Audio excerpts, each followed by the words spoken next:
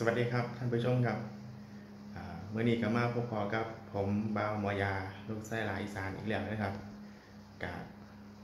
มาเบิ่งกันนะครับเมื่อนี้ว่าผมซิมีเมนูอย่างมานำเสนอนะครับเมื่อนี้เดี๋ยวให้พี่น้องไปเบิ่งการจัดเตรียมวัตถุดิบของผมแล้วก็คาดเดาหรือว่ารุ่นไปน้ำกันนะครับว่าผมจะเฮ็ดเมนูอย่างนะครับ แล้วก็เดี๋ยวถ่ายคลิปเมื่อนี้ผมจะมีการทดลองชิมอาหารที่ผมเห็ดให้เบิ่งนะครับ เดี๋ยวลองไปติดตามเหมือนกันนะครับ ว่าอาหารที่ผมเห็ดนี่คือเกินไปก่อนนะครับเมื่อนี้นี่อุปกรณ์ที่ใส่มันสิบ่ค่อยเหมาะกับเมนูปานใดแต่ว่า ผมคิดว่าน่าจะเห็ดออกมาแล้วดูดีนะครับสำหรับเมนูนี้น่าจะน่าจะโอเคนะครับแล้วก็ กับว่าแน่ใจว่าหน้าตาจะเป็นยังไงนะครับ เดี๋ยวลองไปเบิ่งกันนะครับว่ามันสิโอเคบอเพราะว่าอุปกรณ์ที่ใส่เนี่ยมันมาตรงกับอ่าที่ที่คนอื่นมันก็เฮ็ดนะครับ อันนี้ก็จะเป็นเฮ็ดในรูปแบบฉบับของบ้ามายานะครับ ก็ลองไปติดตามเหมือนกันแล้วกับหน้าตาหรือว่ารสชาติ มันจะเป็นยังไงมันจะถูกใจพี่น้องงอนะครับก็ลองไปรับชมกันนะครับ อันดับแรกนี่เข้าไปเบิ่งวัตถุดิบ ที่บางวายาที่ใส่ในการประกอบอาหารหรือว่า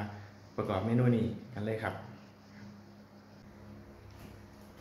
ครับในระหว่างนี้เข้ากับสามารถทำการหั่นปูอัดนะครับ ให้มันเป็นเส้นๆเนาะเป็นชิ้นๆนะครับ เพื่อให้มันบางขึ้นแล้วก็เวลาเฮ็ดไข่กระทะนะครับ มันยังสิได้สุกง่ายขึ้นนะครับ นะประกอบกับเฮ็ดให้มันหน้าตา สีสันรูปแบบออกมาสวยงามนะครับ เวลาแต่งหน้าไข่กระทะนะครับ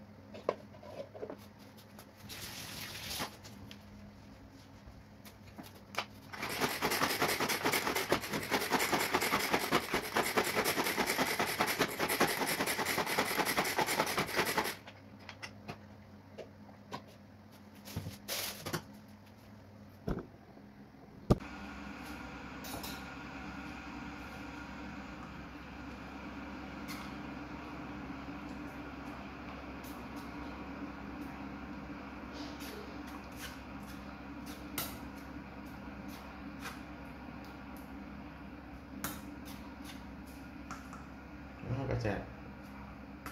คนเรื่อยๆนะครับคนเรื่อยๆจน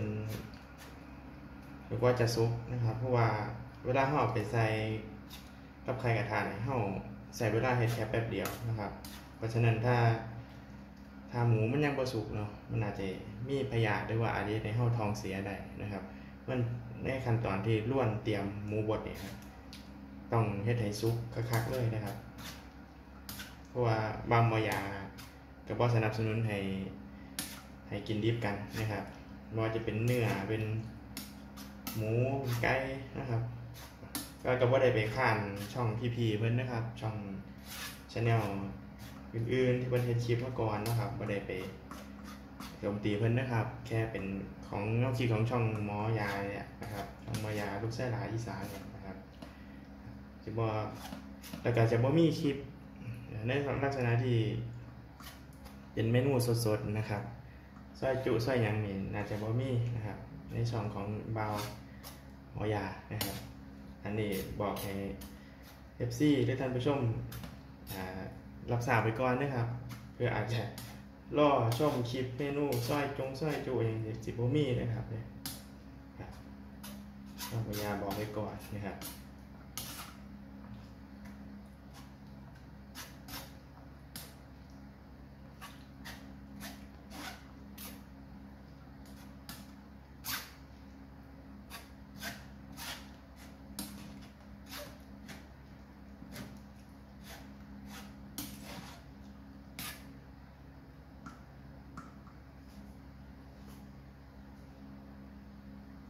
ครับนี่ถือว่าสุกได้ทีแล้วเด้อครับนี่สุกได้ทีแล้วสวยงามครับ ละเอียดละเอียดย่างคักครับนี่ละเอียดยางคักเลย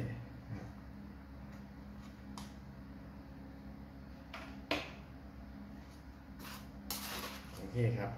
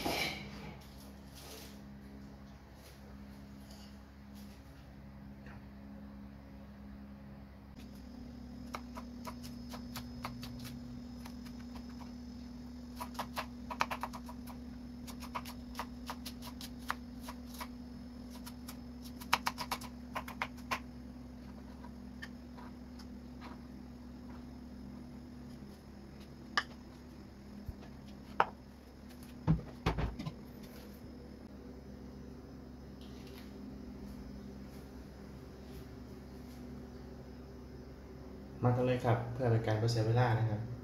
มาเริ่มขั้นตอนการเฮ็ดไข่กระทะของเฮากันเลยครับ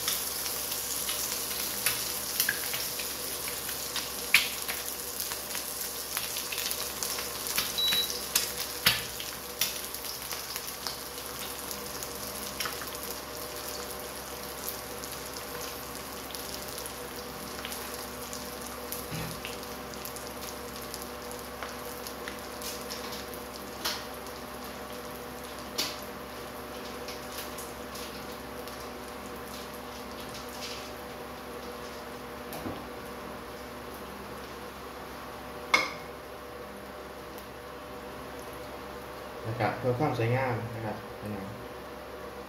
หน้าตามันสวยงาม นี่ครับมามายามีตัวนี้มาเพิ่มครับ เป็นออปชั่นเสริมครับ เพื่อเป็นการตกแต่งหน้ามันจะเยิ้มนะครับเพื่อที่ให้เมนูไข่กระทะเฮามันออกมาสวยดูดีนะครับก็คือชีแทนนะครับ ลอเมืองครับพี่น้องเฮาไปโปะไว้เห็นนาไข่กระทะของมันจีเป็นแบบใดเนาะมันจีงามบอกนะครับลองเบิ่ง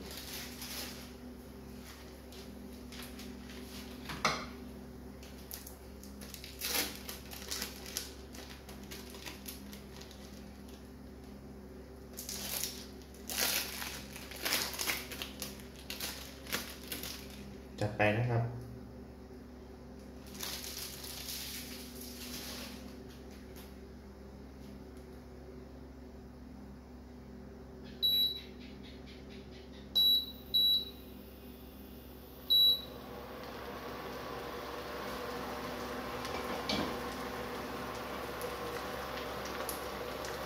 ปิดฟ้าทิ้งไว้นะครับ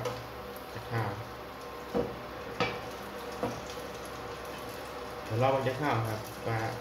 หลังจากปิดฟ้าไว้หน้าตามันจะเป็นเท่าไหร่ครับสวยงามบ่นะครับ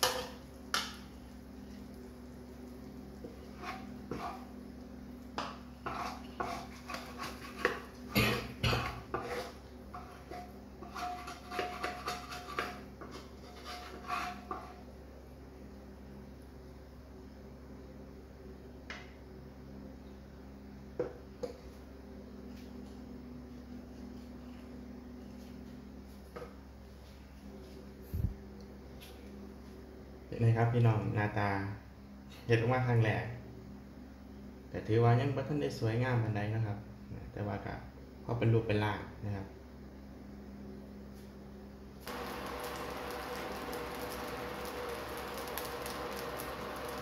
เดี๋ยวเราจะมาลองข้อที่สองนะครับ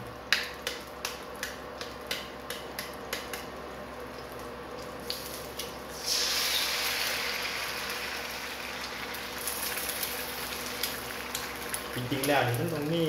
เป็นกระทะน้อยๆนะครับน้อยๆพอดีกับไข่ที่ใส่ลงไปเนาะนะครับเพื่อที่สีเป็นรูปทรงที่สวยงามนะครับ อาจจะเป็นรูปหัวใจหรือว่ารูปวงกผมน้อยๆนะครับ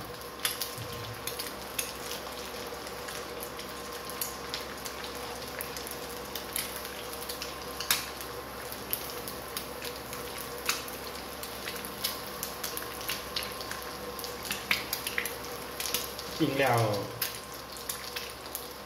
พูดถึงนี่กระทะสำหรับเฮ็ดไทยกระทะของบางบนยางก็มีนะครับแต่ว่าเอ่อแล้วมันต้องเอาไป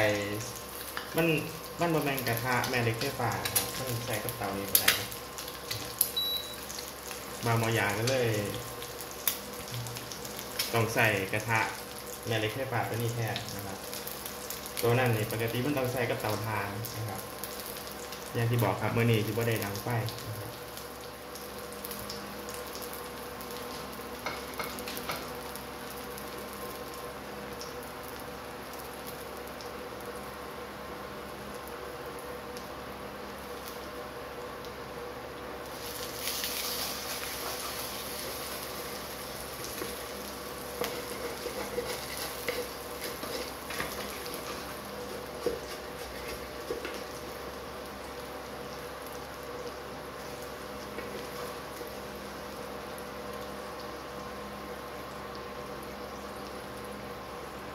าสั้นเดียวจานนี่นี่บ้ามายาสิบ่ได้ใส่ชีสนะครับที่ลองมาใส่ชีดเบิ่งนะครับ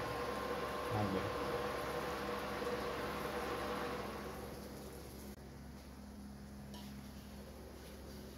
นี่แหละครับหน้าตา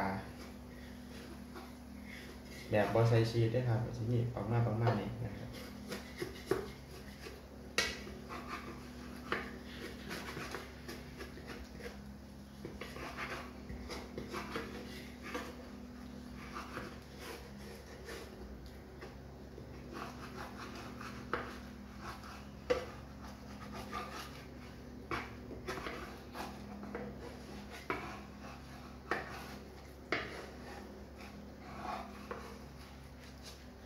ก็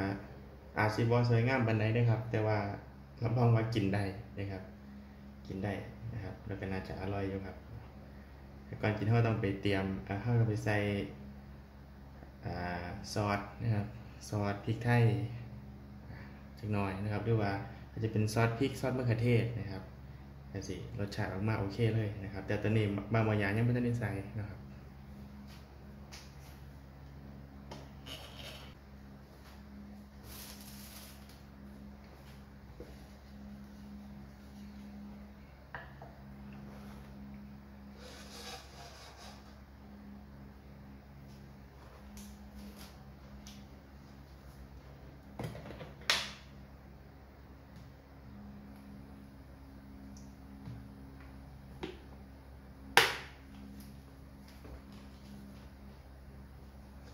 เคครับ เดี๋ยวเข้ามาเบิ้ง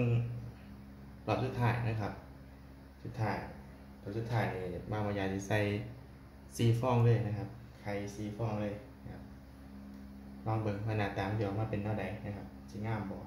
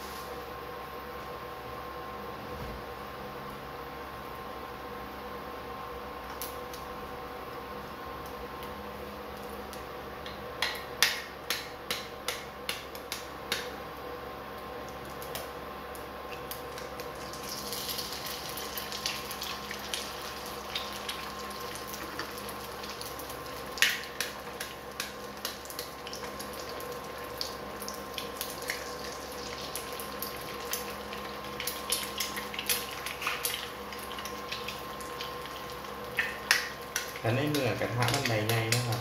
เราก็ต้องใส่ไข่ร้ายขึ้นใส่วัตถุดิบร้ายขึ้นนะครับให้มันสมกับกระทะนะครับลองดูครับ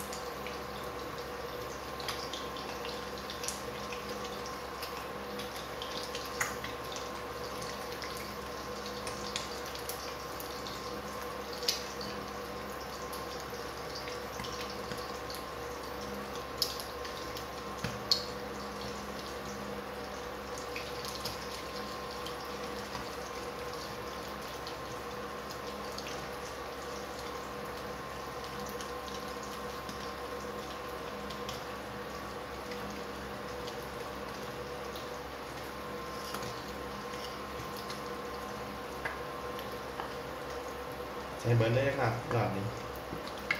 ทุกอย่างนะครับท่านผู้ชมเตรียมไว้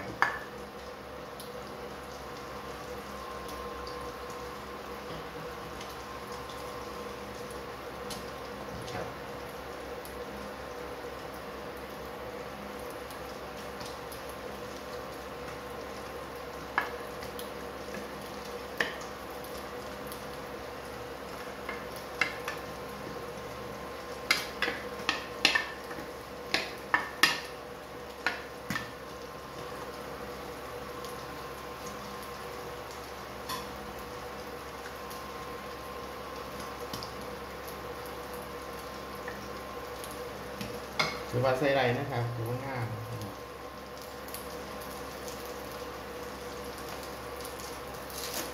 ตามด้วยตัวนี้ครับนี่ชีสนะครับ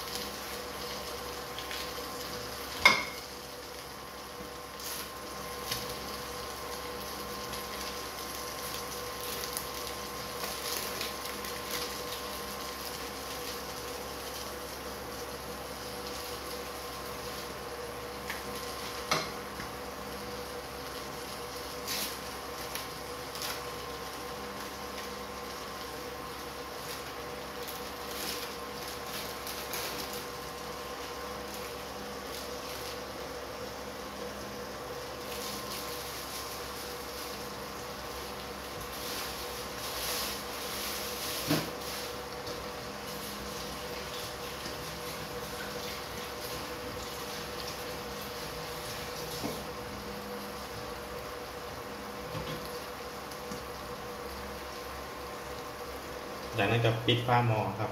รอให้ชีละลาย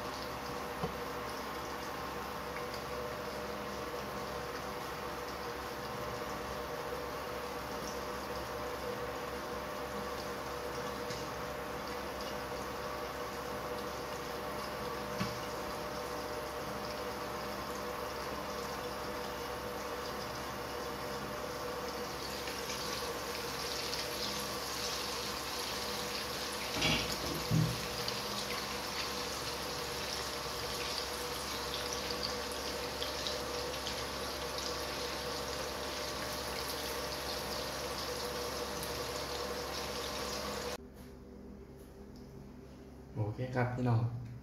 หลังจากที่ห้องเฮดซุปแล้วนะครับ หน้าตาออกมาเป็นแบบนี้นะครับ หน้าตาอาจจะบ่ดีนะครับ แต่รสชาติอาจจะแซ่บก็ได้นะครับ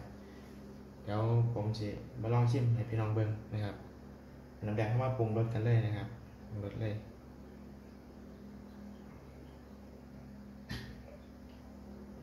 ทอดพริกไหมครับใส่ลงไป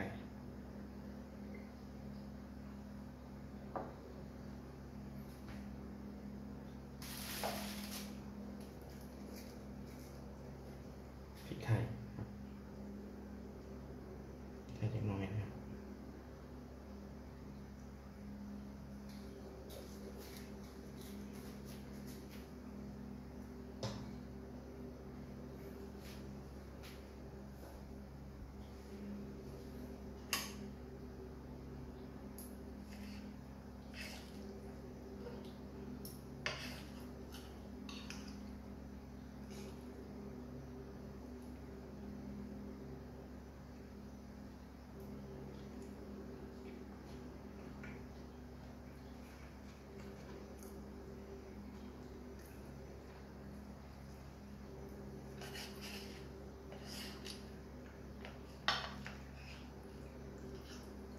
พ รสชาติก็จะออก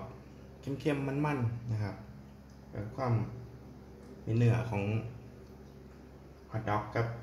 ปูอัดนะครับไข่กรอบๆนะครับก็แซ่บด้วยนะครับ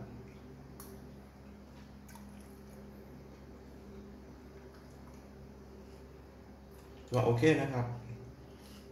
ถึงหน้าตาจะว่าง่ายแต่ว่ารสชาติโอเคเลยครับ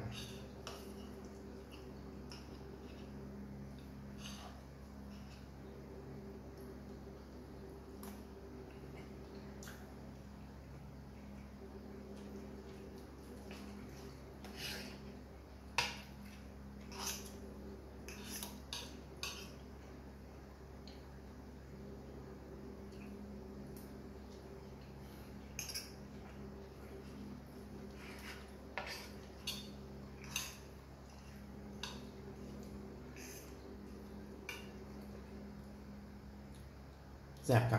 กับพี่น้องแสบแห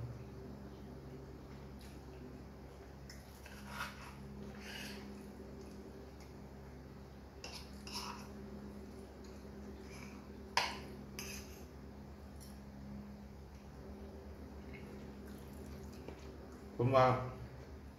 ใช้ชีสนี่มันจะแสบมากขึ้นนะครับ นอกจากเด็ดนอกจากจะเห็นในหน้าตามันสวยงามนะครับรสชาติมันยังแสบขึ้นนะครับกลมกล่อมมากขึ้นครับ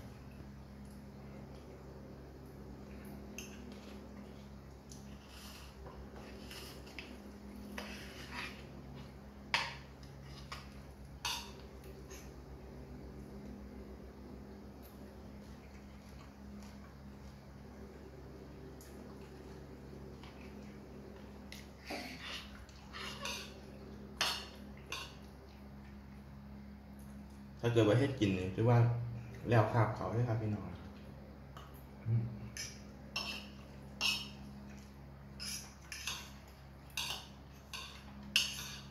ให้กินยามมื้อเช้ากับกาแฟหอนๆนะครับ โอเคมาก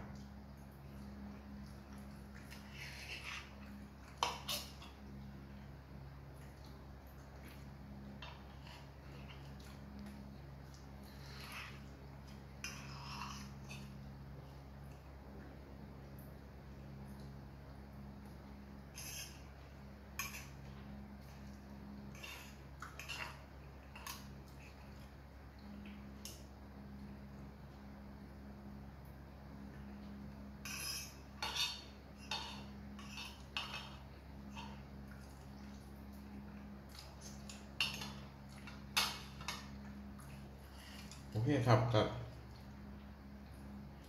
ฝากกดติดตามกดไลค์